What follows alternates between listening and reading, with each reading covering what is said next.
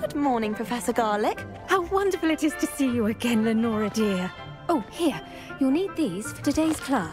Um, uh, A little treat for your auntie. Ah, hello! Class, please welcome the newest rose in our garden. We do look forward to growing together. Thrilling it is to have everyone back together again. This year will be filled with enchantment and excitement, but the most important thing cultivated in herbology is knowledge.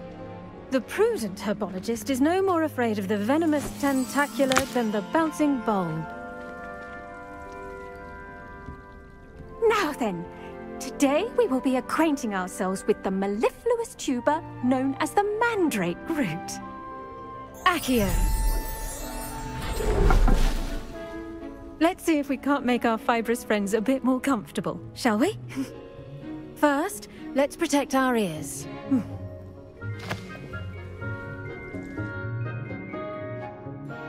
Now, everyone, grip their mandrake by the tendrils and give it a firm tug.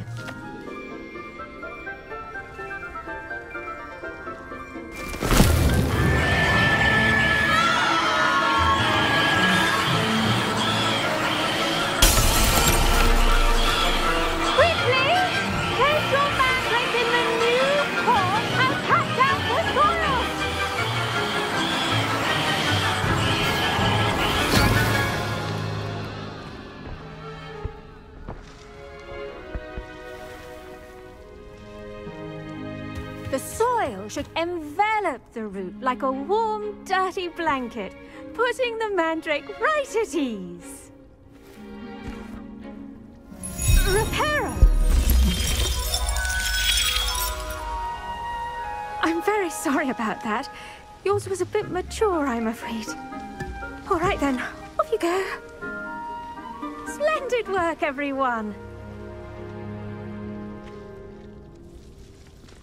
Now, for our next task, we'll be planting Dittany at our potting tables. You can... Hmm. I wonder if hippogriffs... Revelio, not hawks.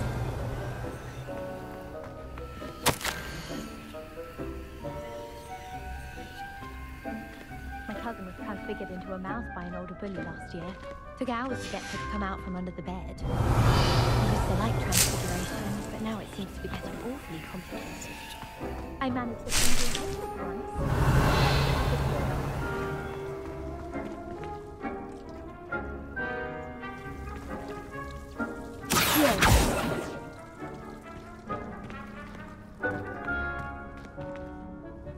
Yes, Professor? Firstly, well done with your mandrake. They can be rather difficult to get a grasp of.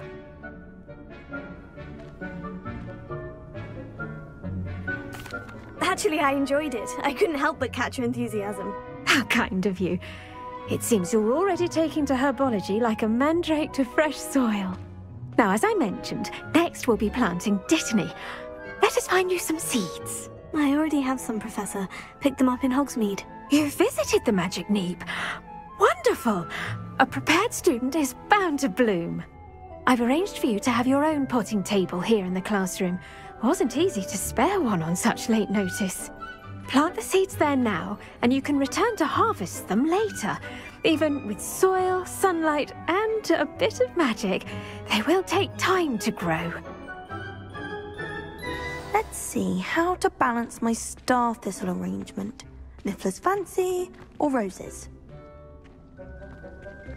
I went to the lake once. Wanted to have a sing-song just by myself. Dittany's restorative properties make it a vital ingredient in the Wiggenweld potion, as you all should know from Professor Sharp's class.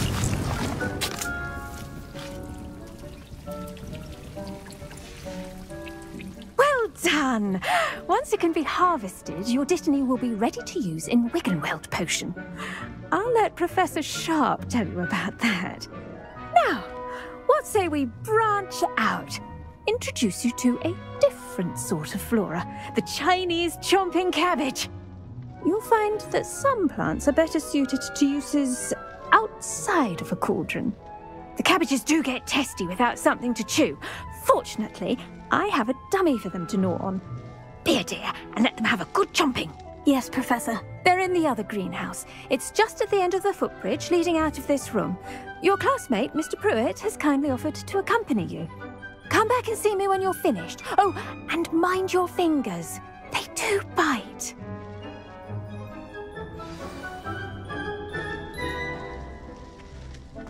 Revelio. Hello. Saw you on your way to Hogsmeade the other day. Nice to meet you. I'm Leander. I'll be showing you the Chinese chomping cabbages. Up these stairs will take us there, but your lead. Nice work in Defense Against the Dark Arts, by the way. Excuse me? Your duel with Sebastian. And he's good. Thinks he's really good. But you outright slaughtered him. It was brilliant. Oh, well, thank you. I nearly put Sebastian in his place myself. I mean, I would have, if Hecat hadn't stopped me. Didn't she stop that dragon skull from crushing you?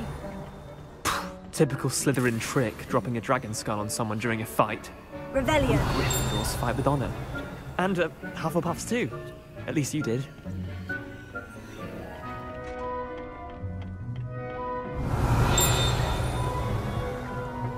Here we are, home of the Chinese chomping cabbage.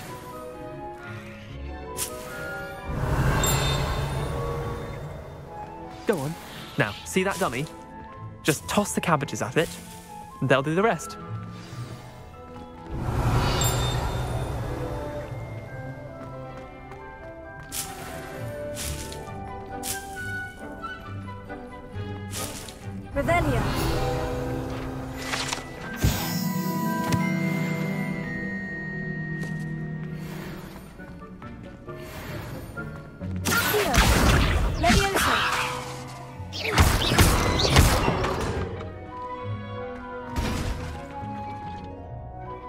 I'm sorry. What do I need to do? Garlick said she wanted you to have a go at tending the cabbages.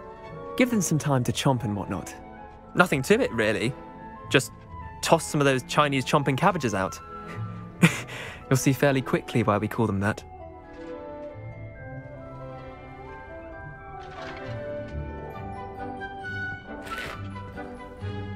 Revelio.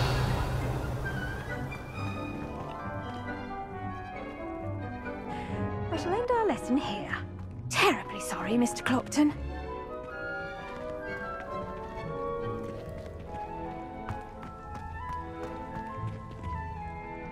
I tended to the Chinese chomping cabbages, Professor. Remarkable plants, aren't they? I hope they weren't too much trouble. Oh, don't see any bite marks or missing digits. And good, as you do seem to be quite green-fingered. Oh, I'm eager to see your skill in the soil continue to blossom.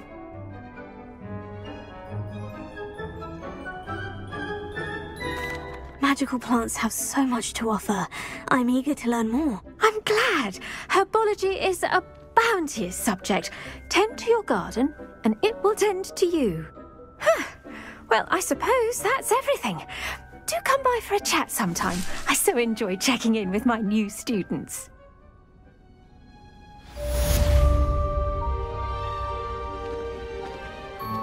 Hope those mandrakes are really relishing their new pots. Only cost me my damned hearing.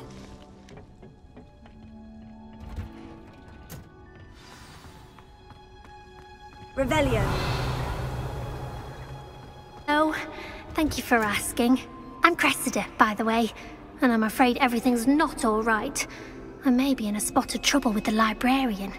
You see, I'm fond of creating my own charms. Thought I'd perfected my light as a feather charm to use on my library books. My arms get so tired carrying them around all day. But I must have confused the Latin word for feather with bird in my incantation, because when I opened my bag just now in the library, they literally took flight. That sounds brilliant, actually. Thank you. Somehow I don't think the librarian will see it that way.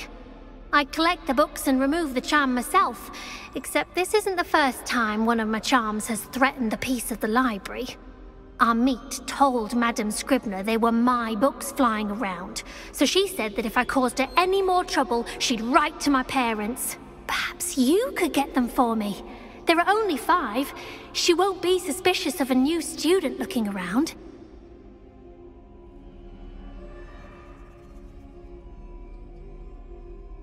I suppose I could help if I have the time. Oh, I'd very much appreciate it. One of the books is my diary. I'd rather it not fall into the wrong hands. If you could collect them and bring them to me, I can remove the charm.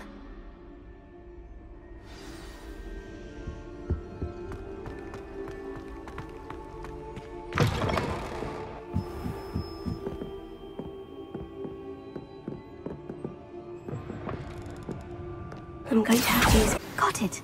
Only four more to go.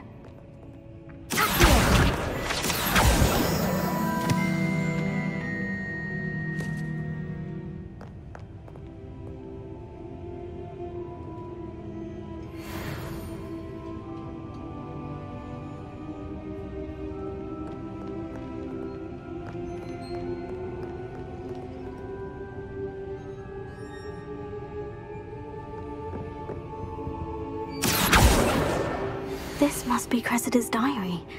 I'd want this back too if I were her.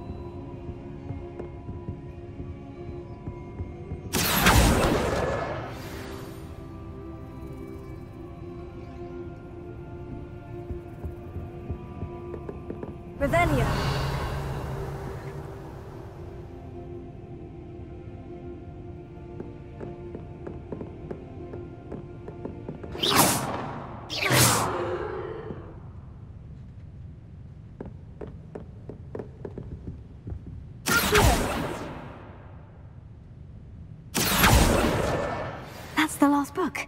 Now to take them back to Cressida. Revelio.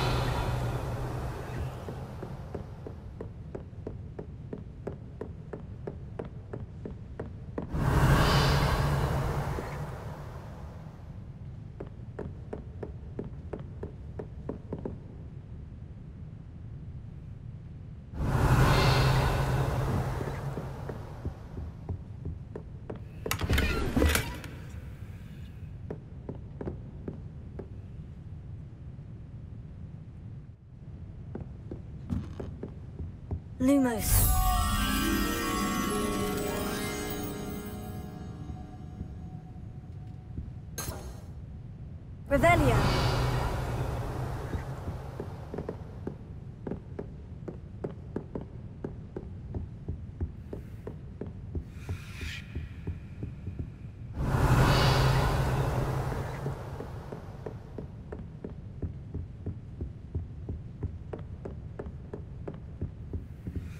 Lumos.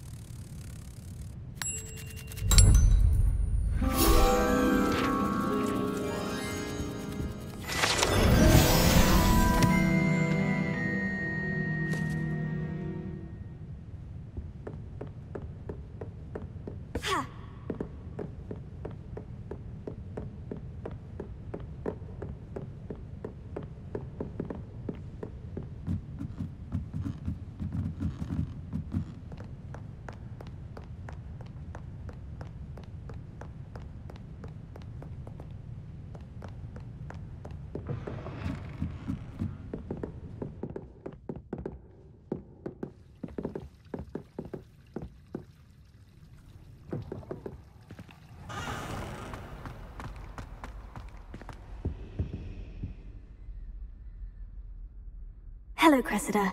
I collected your books, including your diary. Oh, what a relief. Thank you. I'll happily take the heavy lot off your hands now.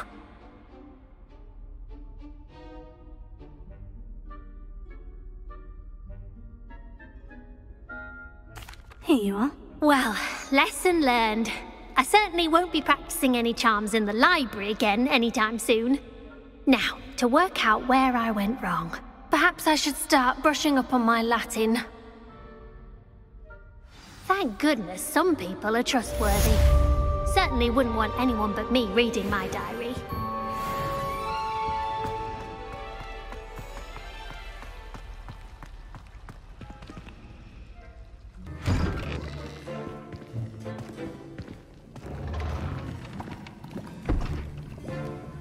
Potions is one of the most challenging and hazardous subjects taught at this school. As fifth years, you will be required to reach new heights of both discipline and intellect. You will begin this term by brewing a Wiggenweld potion. Mr. Thakkar, can you tell us why this particular potion might come in handy? Yes, Professor Sharp. The Wiggenweld potion can be used to sterilize and even heal a variety of injuries. It can heal some injuries, but not all. Points for Ravenclaw. Before today's class is completed, each of you will have brewed a Wiggenweld potion of your own. You never know when you might need it. Please begin.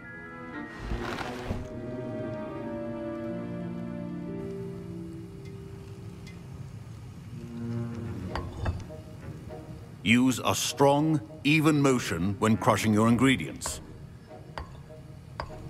Please be meticulous when adding powder to your potions. One errant sneeze could be disastrous.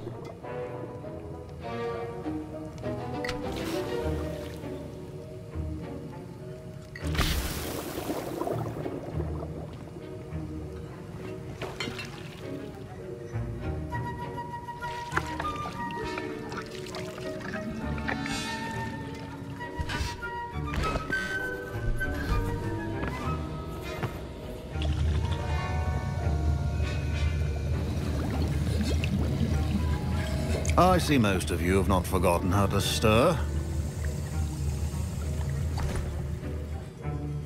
Hmm. Not an easy potion to brew. Well done. And from what I hear of your recent exploits in Hogsmeade, you'd also do well to practice brewing the defensive Edurus potion. Professor Weasley had you acquire the recipe from J. Pippin's, correct? Yes, sir. Good. For the moment, you can find the ingredients you need in my office. But in the future, you'll be expected to provide your own ingredients. Some can be harvested from the plants you grow in your herbology class, and rarer ones can be purchased. Others, however, may be harder to obtain, and will require you to be a bit more resourceful. Come and see me when you've finished brewing, and we'll see if it was skill or luck the first time round.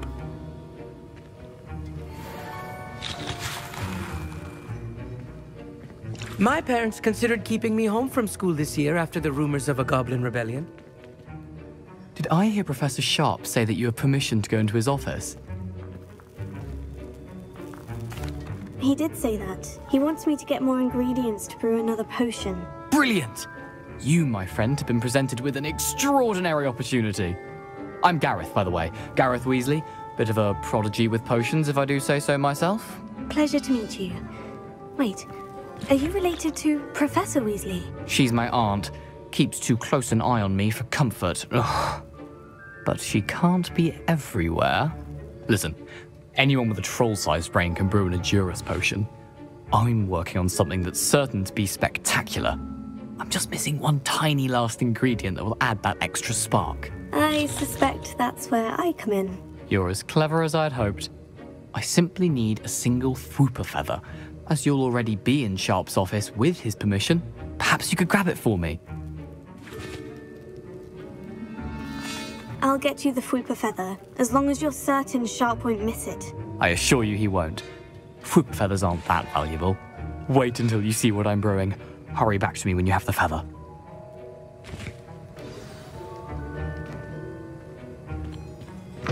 Remember, The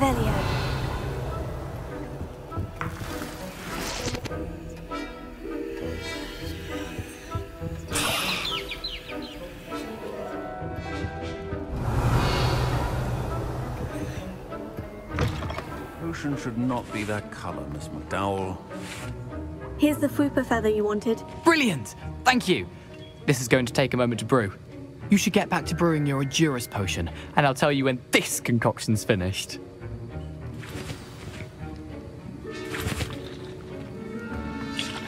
Should you chop the Dittany or crush it? The wrong answer could result in the unfortunate loss of your eyebrows.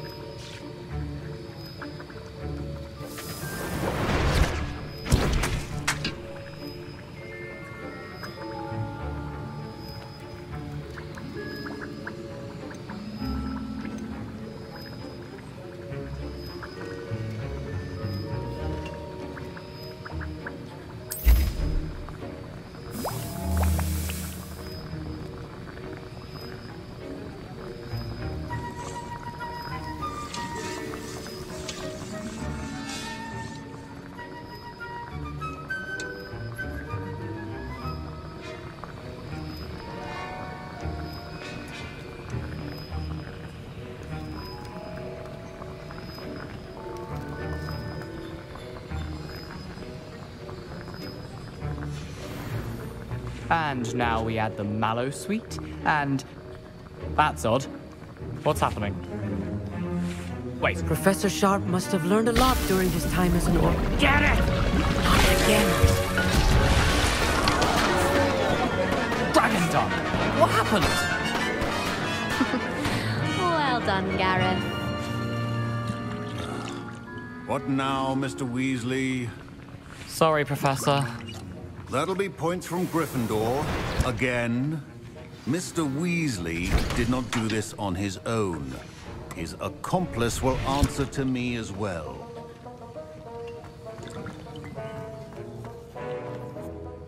I brewed an Edurus potion, as you asked, Professor. I'm surprised you had the time. You seemed rather busy helping Mr. Weasley brew chaos. I'm sorry, Professor. I was merely trying to help a friend. Taking responsibility for one's actions does go a long way with me. I shall assume that you've learnt a lesson. As for the work you did today at your own cauldron, I will say you've done well. I confess I was skeptical given the advanced nature of this class and the fact you're a new student. I'm glad I was able to meet your expectations. A rare occurrence. And you do well to remember that you're not a potions master quite yet. In addition to having a solid grasp of how to combine various ingredients, you should gain an understanding of the ingredients themselves. Pay particular attention in herbology. The plants you nurture there are often essential to the potions you brew here. Now, I recommend that you find a safe location in which to practice brewing. You cannot leave a hot cauldron simply anywhere. That'll be all. I think each of us has had enough excitement for one day. Don't fret if you run out of ingredients. I simply grow most of what I need. Professor Sharp said that Wiggenweld potion can treat injuries. Hope I never need it. That was an interesting class. Thanks to you. Wasn't precisely what I had in mind, but it was still brilliant. I appreciate your help. I hope Sharp wasn't too disagreeable when you handed in your potion. Heard him talking about taking responsibility.